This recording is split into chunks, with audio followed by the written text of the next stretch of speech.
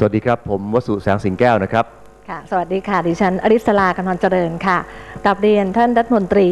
ท่านผู้มีเกียรติ ท่านสื่อมวลชน ท่านผู้ชมที่กำลังรับชมการถ่ายทอดสดผ่านทางสถานีโทรทัศน์ NBT ค่ะ เราสองคนมีความภูมิใจเป็นอย่างยิ่งนะคะ ที่ได้มาทำหน้าที่ผู้ดำเนินรายการในวันนี้ค่ะ กับการแถลงข่าวการประกาศมาตรการ ร่วมเดินหน้าปฏิรูปประเทศไทย ในส่วนกระบวนการประชาวิวัฒน์ค่ะ ถือเป็นของขวัญชิ้นสำคัญของรัฐบาล ที่มอบให้กับพี่น้องประชาชนคนไทย ต้อนรับปีใหม่2554 นี้ค่ะ ใช่แล้วครับ และเราสองคนนะครับก่อนอื่นก็ต้องขออนุญาตกราบสวัสดีปีใหม่ไปยังคุณผู้ชมทุกคนนะครับที่กำลังชมการถ่ายทอดสดอยู่ทางบ้านนะครับ จริงๆ ย้อนหลังมานิดหนึ่งแต่ว่าตอนนี้เข้า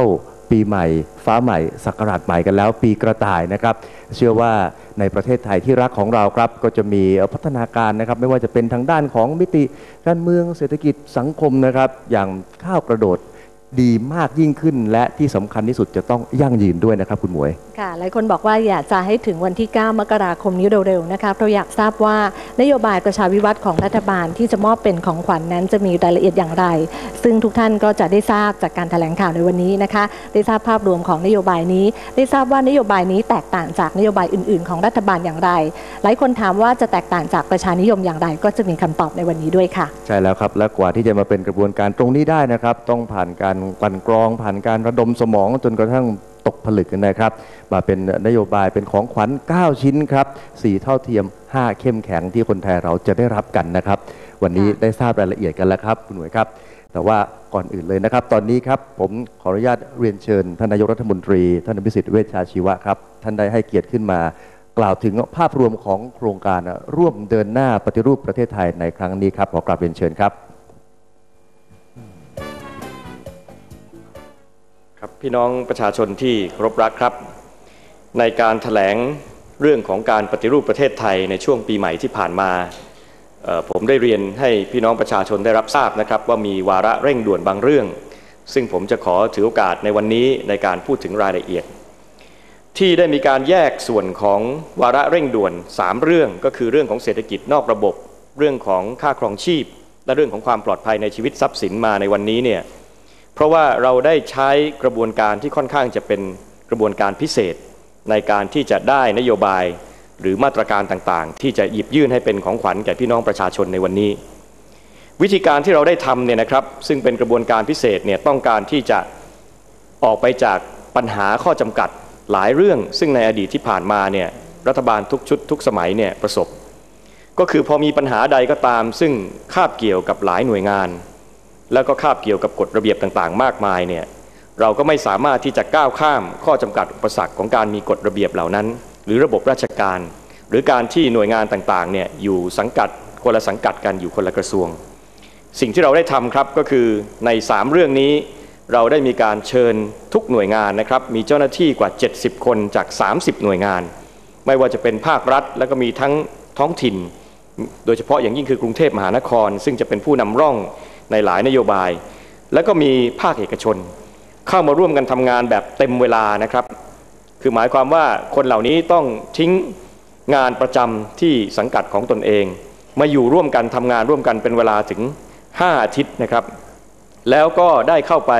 พบปะกับพี่น้องประชาชน ซึ่งจะได้รับผลกระทบจากนโยบายเหล่านี้โดยตรงนะครับ จริงๆ แล้วมีการเข้าไปพบแล้วก็สัมภาษณ์กลุ่มเป้าหมายเนี่ยกว่า 1,000 คนด้วยตลอดระยะเวลากว่า 1 เดือน ซึ่งนอกเหนือจากนโยบายซึ่งจะเป็นของขวัญที่ผมจะเรียนให้พี่น้องประชาชนทราบในวันนี้แล้ว ผมคิดว่าประโยชน์ที่เราได้รับอย่างมากจากการทำงานในครั้งนี้ก็คือได้รูปแบบใหม่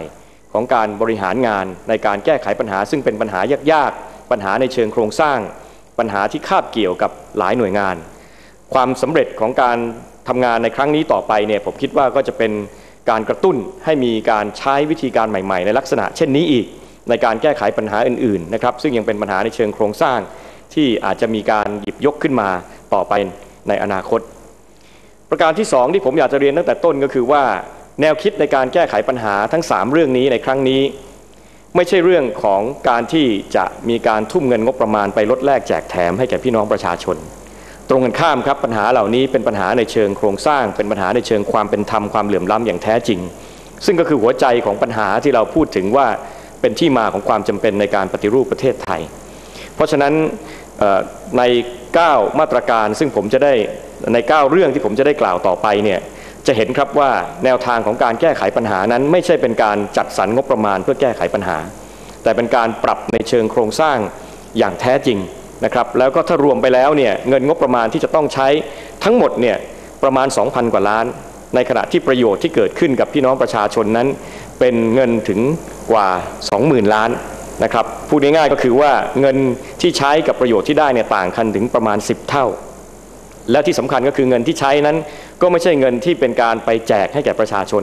ตรงกันข้ามนะครับก้อนเงินที่ใหญ่ที่สุดก็เป็นเงินสมทบ ซึ่งก็เป็นระบบสวัสดิการที่เรามีอยู่แล้วนะครับอันนี้ก็คือภาพรวมที่ผมอยากจะเริ่มต้นให้เห็นว่าการทำงานครั้งนี้มีความพิเศษอย่างไรนะครับแล้วก็เมื่อเราได้ทำสิ่งนี้แล้ว ได้ข้อสรุปแล้วมีการรายงาน และจะมีการติดตามผลต่อไป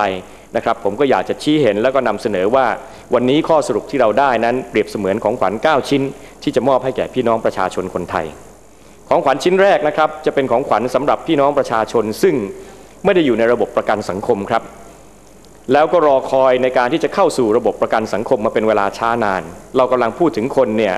อาจจะเป็น 10 กว่าล้านคนนะครับเพราะว่าเราตั้งเป้ามาตลอดว่าควรจะมีคนอยู่ใน ระบบประกันสังคมเนี่ยประมาณ 20 กว่าล้านคน แต่ปัจจุบันนั้นที่ทำมาเป็นเวลานานเนี่ยเราก็จะติดอยู่ที่ตัวเลขประมาณ 9 ล้านคน 10 ล้านคน ด้วยผลง่ายๆครับก็คือว่าสำหรับพี่น้องประชาชนซึ่งไม่มีนายจ้าง แม้ว่ากฎหมายในปัจจุบันตามมาตรา 40 ของกฎหมายประกันสังคม บอกว่าสามารถที่จะเข้ามาสู่ระบบประกันสังคมได้ ถ้ายอมจ่ายเงินนะครับเเข้ามาเนี่ยแต่ว่าที่ผ่านมาเนี่ยการจ่ายเงินตรงนี้เนี่ยไม่จูงใจครับ ไม่จูงใจแล้วก็พี่น้องประชาชน ซึ่งอยู่เป็นแรงงานนอกระบบนั้นเนี่ยไม่สามารถที่จะสมทบเงินตามเงื่อนไขได้ เพราะฉะนั้นสิ่งที่เรากำลังจะมอบเป็นของขวัญก็คือว่ากำลังจะมีการปรับในเรื่องของกฎหมายกฎระเบียบที่เกี่ยวข้องนะครับ โดยจะให้มีผลตั้งแต่เดือนกรกฎาคมเป็นต้นไป เปิดโอกาสให้พี่น้องประชาชนเนี่ยสามารถสมทบเงินนะครับ ไม่เกิน 100 บาทต่อเดือน แล้วก็สามารถเข้ามาอยู่ในระบบประกันสังคมได้นะครับ เราจะเปิดทางเลือกครับ มีทั้งที่เป็นการสมทบเงินนะครับทั้งทั้งหมดเนี่ยรวมทั้งในส่วนของรัฐบาลด้วยเนี่ยร้อยบาทหรือ 150 บาทต่อเดือน แล้วก็จะได้สิทธิประโยชน์นะครับในเรื่องของออการชดเชยรายได้เมื่อเจ็บป่วย ทุพพลภาพเสียชีวิตนะครับถ้าในกรณีที่จ่าย 70 รัฐบาลสมทบ 30 ก็จะได้ 3 เรื่องนี้ ถ้าเป็นกรณีที่จ่าย 100 รัฐบาลสมทบ 50 ก็จะได้สิทธิในเรื่องของบำเหน็จชราภาพด้วย นะครับขณะเดียวกันครับก็ได้มีการประสานงานเรียบร้อย กับคนที่กำลังทำเอ่อกฎหมายกองทุนเงินออมแห่งชาติ ว่าการเข้ามาสู่ระบบประกันสังคมแบบใหม่ตรงนี้ไม่ตัดสิทธิ์นะครับสำหรับพี่น้องประชาชนที่สนใจจะเข้าไปอยู่ในกองทุนเงินออมแห่งชาติ ซึ่งก็หมายความว่าเรากำลังเปิดโอกาสให้มีระบบการออมและสวัสดิการทางเลือกนะครับสำหรับพี่น้องประชาชนในแรงงานนอกระบบทั้งหมดนะครับนี่เป็นการเปลี่ยนแปลงครั้งสำคัญนะครับที่กำลังจะทำให้พี่น้องประชาชนจำนวนมาก สามารถเข้ามาสู่ระบบประกันสังคมมีหลักประกันความมั่นคงในชีวิต ซึ่งเป็นแนวทางของการที่จะพัฒนาไปสู่ระบบสวัสดิการของพี่น้องประชาชนคนไทยทั้งประเทศครับ ของขวัญชิ้นที่สองนะครับนอกเหนือจากเรื่องของการมีหลักประกันความมั่นคง ที่จะเข้ามาสู่ระบบประกันสังคมและมีสวัสดิการแล้ว ปัญหาที่เรารับฟังมาตลอดก็คือปัญหาการเข้าถึงสินเชื่อ ตรงนี้ครับเราก็จะมีการดำเนินการนำร่องในเรื่องของสินเชื่อ เป็นกรณีพิเศษนะครับ ก็คือเราจะมีทั้งกลุ่มที่เราจะเริ่มต้นในเรื่องของแท็กซี่นะครับ ซึ่งขณะนี้นั้นก็มีอยู่จำนวนมากแล้วก็บ่นครับว่าต้องมีการผ่อนรถนะครับหรือเช่ารถนะครับในตราที่แพงนะครับแล้วก็กู้เงินมาดอกเบี้ยก็สูง มีภาระอย่างมาก สิ่งที่เราจะดำเนินการก็คือว่าจะเปิดโอกาสให้กลุ่มแท็กซี่มืออาชีพนะครับที่มีประสบการณ์มากกว่า 3 ปีนะครับสามารถเป็นเจ้าของรถแท็กซี่ใหม่นะครับโดยผ่อน นะครับเงินดาวต่ำต่ำสุด5%นะครับถ้ามีประสบการณ์มากกว่า 9 ปี แล้วก็มีวงเงินสินเชื่อที่จะให้ตรงนี้ถึงพันหกล้านบาทนะครับแล้วก็จะมีสิทธิประโยชน์อื่น ๆ ที่ตามมาด้วย หลักจริง ๆ แล้วในที่สุดนะครับตรงนี้จะเป็นการเปิดโอกาสให้แท็กซี่เนี่ยสามารถที่จะผ่อนรถได้ถูกกว่าเช่ารถด้วยซ้ำนะครับซึ่งก็จะเป็นการลดภาระค่าใช้จ่ายนะครับแล้วก็เปิดโอกาสให้พี่น้องแท็กซี่นั้นมีรายได้ดีขึ้น มีความมั่นคงมากขึ้นอย่างชัดเจน โดยไม่กระทบกระเทือนนะครับมาตรการนี้ที่เราให้กับคนที่มีประสบการณ์มาแล้ว เพราะว่าไม่ต้องการที่จะไปจูงใจให้เพิ่มปริมาณแท็กซี่ ซึ่งจะเป็นการมาแข่งขัน แล้วก็ทำให้เกิดปัญหาในเรื่องของรายได้ด้วยนะครับพร้อมๆกันไปนะครับเราก็จะมีสินเชื่อในลักษณะเดียวกันที่เป็นลักษณะของการผ่อนปรนสำหรับผู้ค้าหาเร่แผงลอยนะครับในจุดผ่อนผันในกทม เป็นการนำร่องเช่นเดียวกันนะครับมาตรการตรงนี้ทั้งหมดนะครับก็คือการที่จะทำให้ คนอีกจำนวนหนึ่งนะครับก็คือแท็กซี่ก็ดี หรือที่นำร่องในเรื่องของหาบเร่แผงลอย ในจุดผ่อนผันในกรุงเทพมหานครนั้น สามารถเข้าถึงแหล่งเงินทุนได้ ในอัตราที่มีความเป็นธรรม มีความผ่อนปรนงบประมาณตรงนี้เนี่ยนะครับไม่มีภาระงบประมาณนะครับ เพราะว่าเป็นเรื่องของสถาบันการเงินของรัฐ แล้วก็ที่มีความวิตกหวั่นเกรงกันว่า ถ้าจะมีเป็นภาระของรัฐก็คือกรณีของหนี้เสีย ก็อยากจะขอเรียนครับว่า จริงๆ แล้วจากการที่เราคัดกลุ่มเป้าหมายเหล่านี้ เรามีความมั่นใจครับว่าบุคคลเหล่านี้นั้นเป็นบุคคลซึ่งมีรายได้ที่มีความชัดเจนอยู่แล้วนะครับตรงกันข้ามนะครับแทนที่เขาจะกลายเป็นหนี้เสียเรากับมั่นใจว่าสถาบันการเงินของรัฐที่เข้ามาร่วมในโครงการนี้ จะมีลูกค้าดีเพิ่มขึ้น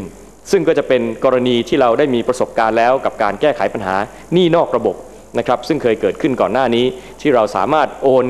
หนี้จากนอกระบบเข้ามาสู่ในระบบ ซึ่งทำให้คนที่เคยเป็นหนี้นอกระบบได้ลดภาระต่างๆ มากมาย แล้วขณะเดียวกันก็กลายมาเป็นลูกค้าที่ดีของสถาบันการเงินเหล่านี้ครับ ของขวัญชิ้นที่3นะครับก็คือในส่วนของอพี่น้องที่ประกอบอาชีพมอเตอร์ไซค์รับจ้างครับ ปัจจุบันก็มีปัญหานะครับ เพราะว่าหลังจากที่เคยมีการขึ้นทะเบียนกันไว้เนี่ยก็ปรากฏว่ามีจำนวนมากครับ ซึ่งประกอบการอยู่ในลักษณะที่ไม่ถูกต้องตามกฎหมายนำมาสู่ปัญหาในเรื่องของการที่จะต้องมีการส่งเงิน นะครับให้กลุ่มคนต่างๆ เป็นภาระอาอาจจะ 1,000 2,000 บาทต่อเดือนนะครับแล้วขณะเดียวกันครับสภาวะแวดล้อมการทำงานนะครับแม้กระทั่งภาพลักษณ์ของอาชีพเนี่ยก็เป็นที่วิพากษ์วิจารณ์อยู่เป็นระยะระยะนะครับ เพราะฉะนั้นสิ่งที่เราจะทำนะครับเป็นของขวัญชิ้นที่3เนี่ยก็คือ เรื่องของการที่จะให้มีการดำเนินการขึ้นทะเบียนนะครับ เพื่อที่จะให้รถจักรยานยนต์รับจ้างนั้นถูกต้องตามกฎหมาย 100% แล้วก็จะมีการจัดระบบมีการออกบัตรประจำตัวนะครับให้เลขในเรื่องของทะเบียนเลขเสื้อเสื้อวินนะครับหมวกนิรภัยนะครับสอดคล้องต้องกันทั้งหมดนะครับแล้วก็บัตรประจำตัวครั้งแรกตรงนี้ที่จะมีนั้นก็จะนำไปสู่การพัฒนาระบบสวัสดิการหรือสิทธิประโยชน์ต่อไปได้ ในอนาคตเช่นเดียวกัน พร้อม ๆ กันไปนะครับ เราก็จะพยายามดูแลในเรื่องของการปรับปรุงนะครับสภาพแวดล้อมในการทำงานนะครับไปปรับปรุง วินให้มีที่พักนะครับมีป้ายในเรื่องของราคามีความชัดเจน แล้วก็นอกจากนั้นครับยังจะเชิญชวนให้พี่น้องมอเตอร์ไซค์รับจ้างนั้นมาทำหน้าที่เป็นอาสาพิทักษ์ดูแลชุมชนพร้อม ๆ กันไปนะครับภาระงบประมาณตรงนี้ความจริงแทบไม่มีเลยนะครับสิบกว่าล้านบาทเป็นเรื่องของการบริหารจัดการต่างๆ แต่ว่าสิ่งที่เราจะเร่งทำก็คือการดำเนินการในการขึ้นทะเบียน แล้วก็จัดระบบ จัดระเบียบตรงนี้ ซึ่งจะทำได้ตั้งแต่เดือนมีนาคมเป็นต้นไปนะครับ โดยจะเริ่มต้นที่กรุงเทพมหานครนะครับที่จะสามารถดำเนินการได้ก่อนเพื่อน ของขวัญถัดมานะครับก็จะเป็นเรื่องของพี่น้องที่เป็นผู้ค้าผู้ขายหาบเร่แผงลอยครับ โดยใช้หลักการเดียวกันกับที่พูดถึงเรื่องของมอเตอร์ไซค์เมื่อสักครู่นะครับ ก็คือการที่จะมีการดูจุดผ่อนผัน ซึ่งมีการไปสำรวจแล้วนะครับ ก็คือว่าในหลายจุดนั้นเราที่จะมีการผ่อนผันเพิ่มเติม ก็ต้องไม่ไปกระทบกระเทือนสร้างความเดือดร้อน ให้แก่พี่น้องประชาชนที่ใช้ทางเท้าสัญจรไปมาในบริเวณต่างๆ เหล่านั้น แต่ได้มีการสำรวจแล้วนะครับแล้วก็เห็นว่าน่าจะสามารถดำเนินการเพิ่มจุดผ่อนผัน แล้วก็จะทำให้อย่างน้อยก็มีประมาณ 20,000 รายนะครับที่มีการค้าการขายอยู่เนี่ยสามารถทำได้แบบถูกต้องตามกฎหมาย ลดรายจ่ายนอกระบบได้อีกเช่นเดียวกันนะครับนอกจากนั้นครับในหลายพื้นที่โดยเฉพาะในกรุงเทพมหานครเอง นะครับกรุงเทพมหานครก็จะมีการดำเนินการในเรื่องของการพัฒนาจุดที่เป็นจุดท่องเที่ยวนะครับพูดง่ายๆก็จะเป็นจุดท่องเที่ยวอยู่แล้ว หรือแม้กระทั่งการค้าการขายซึ่งมีชื่อเสียงนะครับว่าย่านนี้เป็นย่านที่ขายอดอกไม้ย่านนี้เป็นเรื่องของผ้าหรือเรื่องอะไรเนี่ยจะมีการจัดระบบระเบียบเพื่อส่งเสริม ให้เป็นลักษณะของการเป็นเสน่ห์ของเมืองเช่นเดียวกันนะครับตรงนี้ก็จะเป็นการจัดระบบจัดระเบียบแทบไม่มีภาระงบประมาณเช่นเดียวกันนะครับแล้วก็จะดำเนินการ เห็นผลได้ตั้งแต่เดือนเมษายนปี 2554 ครับ ถัดมาครับก็จะเป็นเรื่องของค่าครองชีพนะครับของขวัญชิ้นแรกที่เกี่ยวข้องกับการครองชีพ ค่าครองชีพก็คือการบริหารจัดการในเรื่องของกองทุนน้ำมันครับ